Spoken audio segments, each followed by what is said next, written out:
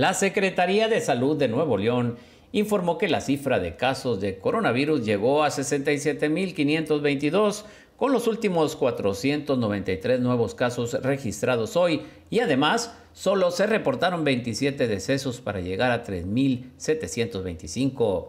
En los números positivos se registró la segunda cifra más baja de personas internadas con ventilación mecánica con 221 pacientes y también el tercer día consecutivo en hospitalizaciones a la baja con 919. Hay 886 casos sospechosos para un total de 207.966 personas estudiadas.